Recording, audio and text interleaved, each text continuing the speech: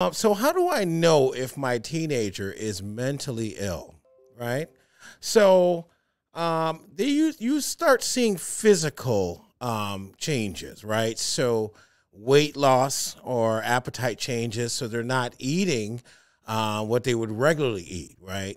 Chicken nugget, French fries. You know, one of the main things that they all eat, right? Skipping meals. You're calling them down to eat, and they're saying, "Oh."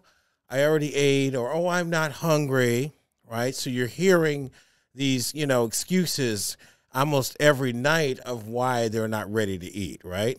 Or the opposite, hoarding food, right? So I'm going to tell you guys a secret hiding place in the ceiling. Check in the ceiling because sometimes these kids are hoarding junk food and uh, we never think about looking in the drop ceiling, right? Or under the mattress, or inside the pillow, or in the sock drawer. Um, where are those hitting snacks? snacks? Um, so how do I know if my